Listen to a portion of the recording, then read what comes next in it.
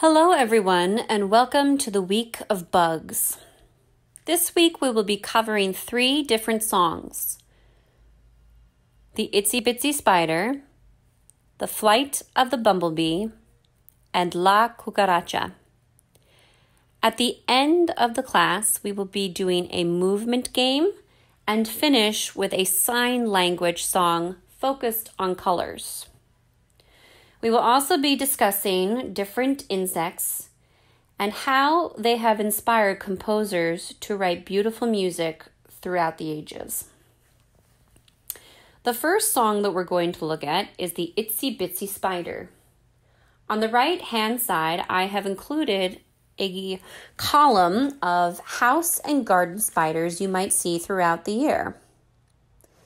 Though the Itsy Bitsy Spider is known as a nursery rhyme and tune, it was originally written for adults in 1910 toward two different groups of people the lower class and the higher class, and the strife that they had between them.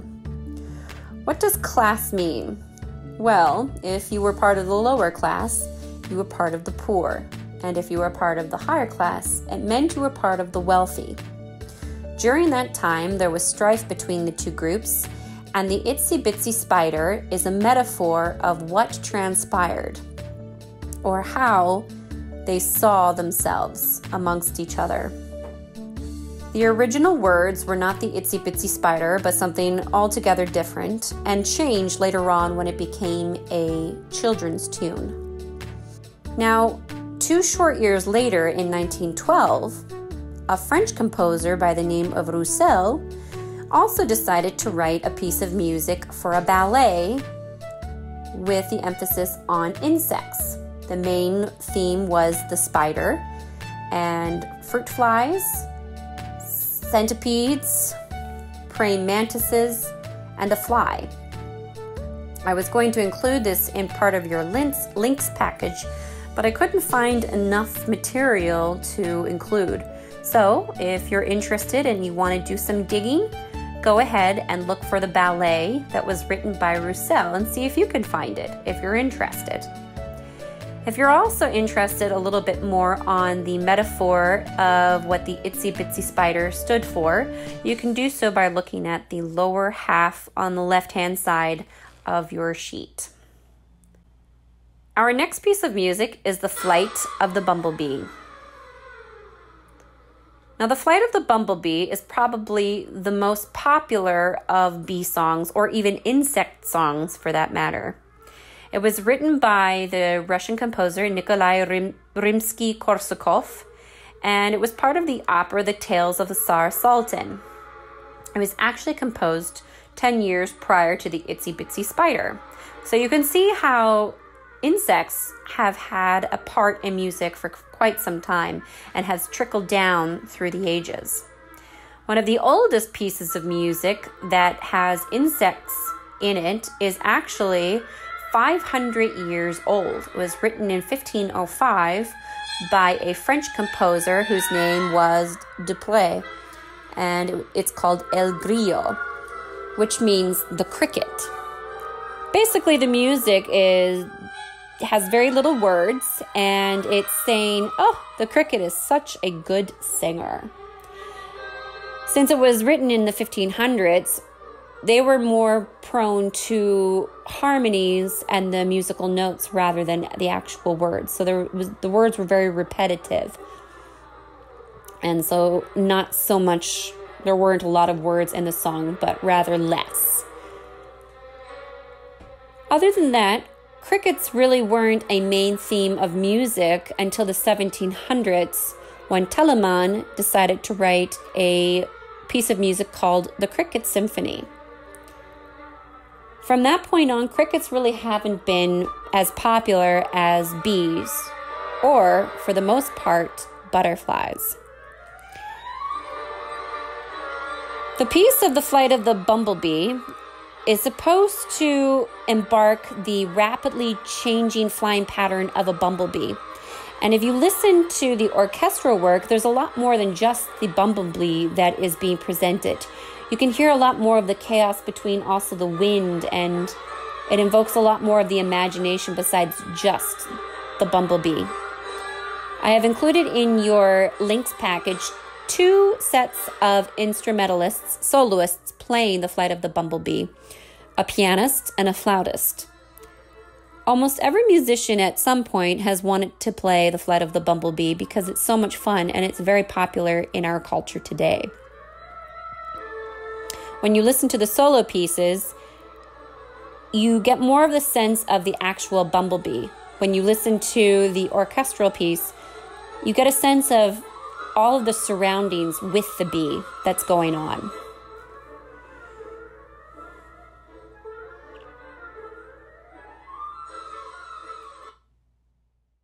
Little piece written about a cockroach. Cockroaches as bugs aren't exactly pleasant. Usually people want to run away, are disgusted by them, or want to squish them if they're that brave. But in this piece, there's more of a metaphor attached to it. The song originated in Spain, and some verses are said to go back to the Reconquista times, meaning the Middle Ages, quite some time ago. But the Mexicans, they made it popular worldwide by, during their revolution. And throughout the ages and times in different countries, individuals have added their own verses some of them are humorous, some of them represent moods. One that I found that I thought was quite cute was when a boy loves a girl, and if the girl does not love him back, it's like a bald man who finds a calm on a railroad track. I thought that was quite cute and quite humorous. So, with the finalization of our theme this week, we've covered many different insects, but there are definitely more that have yet to be explored, and if you are interested, you can go and look at them online. There are compositions written about mosquitoes, the wasps. Um, there's a wasp um, piece of music that was written by um, Vaughan Williams. I was very, very popular. And if you're interested in butterflies, which yes, they don't make a lot of sound, but I think composers have been compelled to write music um, because of their beauty and fragility and flight flightlessness, how they just jump from one flower to another. So, if you're interested in that, there are quite a few works. Probably the most works have been written about butterflies. Two of which have been French composers, Chausson and Debussy. They wrote a piece of music on the same poem, La Papillon, which talks about a lover and if he could borrow the wings of a butterfly, rather than flying to the roses, he would rather fly to his lover's lips and die. Another metaphor. Other pieces have included Franz Schubert, where he wrote a piece of music called The Butterfly. Um, and there are others as well. Um, there's also songs about mosquitoes and flies. Bartok wrote a cute little compilation of song uh, uh, of a song um, that's quite humorous about uh, a fly and his his wanting to escape a, a hungry spider. So you can definitely take a look because there's much to much to delve into and and look into if you're inspired.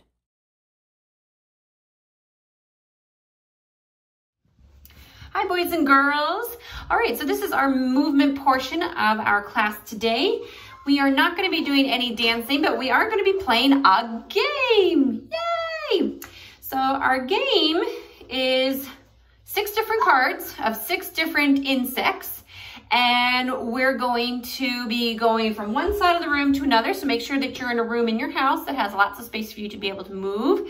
And let's get started. So I am going to switch the bowl around and I'm going to pull out the card and I'm going to read it to you and you're going to do as I do. So we have a spider. We're going to do a spider. So we're to go up on all of our hands and our feet and we're to walk. Ready? Here we go. Up in the air, walking. Spider. Once you get to one side of the room, then you're to turn around and walk back as a creepy, crawly spider creepy crawly spider. Good job. Okay, so our next one is what is it? It is a butterfly. Okay, so we're gonna stand up, stand up, and get your flappy wings ready. Here we go. And you can run, and you can flap, and run, and flap. I have to keep my wings nice and narrow because my hallway is on the narrow side and hit my hands. All right, good. So keep flapping. If you're still running, still flapping, you keep going. All right, next one is grasshopper. Okay, so we're gonna go down all the way to the ground and then we're going to hop. All right, so here go.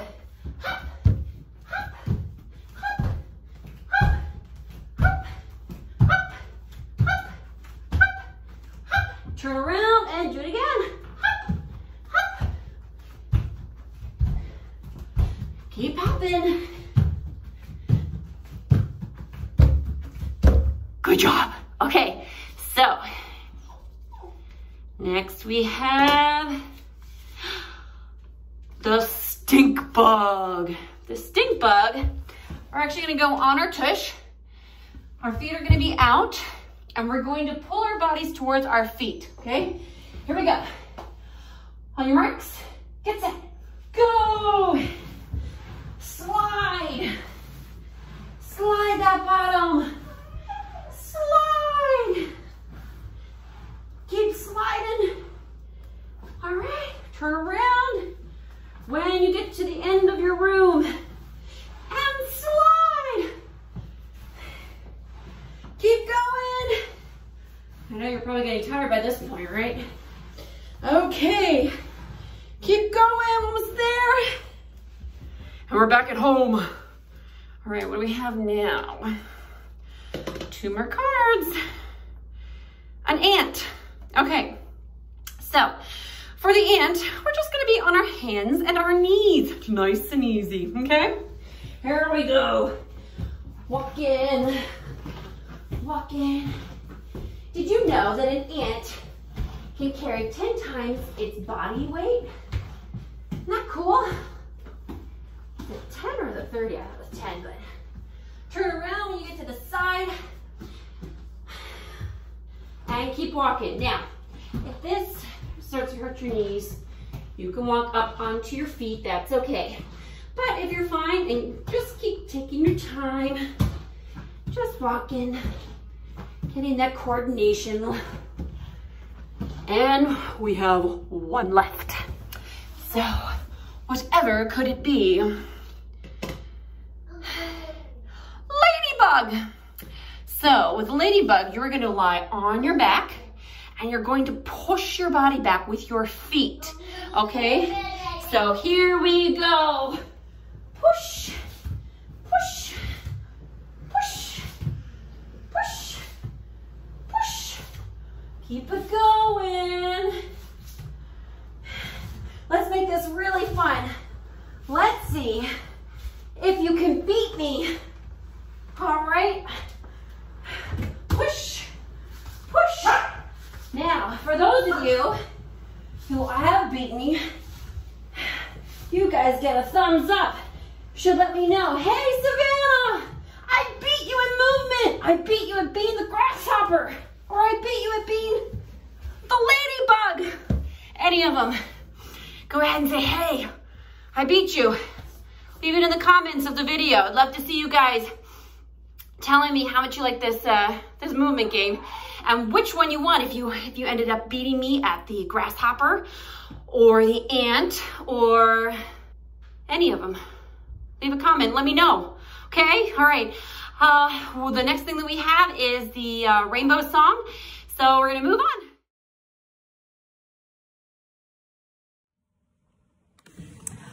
Okay, so this is the end of our lesson for this week, and we're going to finish with learning the I Can Sing a Rainbow. That's what it's called. So before we begin, we're going to learn the colors in sign language. This is a sign language uh, song. So first of all, I want you to take your fingers and you're going to crisscross them, okay? And then you're gonna put it right where your chin is and drag it down. Okay, right from the bottom, really drag it down. This is red, red, okay? yellow, you're going to tuck your other three fingers into your palm. You're to turn it around and then yellow, yellow, okay? So red, yellow, okay? Pink, pink, green, it's like making a cup of tea like this. Green, okay? Go back to the same thing as pink, but with purple, you're going to swing it. Purple, orange, like you're squeezing an orange. Orange, blue, and wave, like you're waving, okay? So from the very beginning, red, yellow, pink, green, purple, orange, blue, okay? Now in between all of those colors, you're going to be saying end. How you say end is you just drag your hand like you're pulling something, right? And red and yellow and pink and green, purple and orange and blue. Okay? So for this week, that's all you're going to learn. We're not going to learn the song yet. You're just going to learn the sign language for the colors, okay? And then next week, we're going to learn the rest of the song and the melody, all right? So I hope you enjoyed this week's lesson. I miss not seeing your faces, and we'll see you next week online. All right, take care. Bye.